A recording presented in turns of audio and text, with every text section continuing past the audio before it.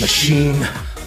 I will cut you down, break you apart, splay the gore of your profane form across the stars. I will grind you down until the very sparks cry for mercy. My hands shall relish ending you here.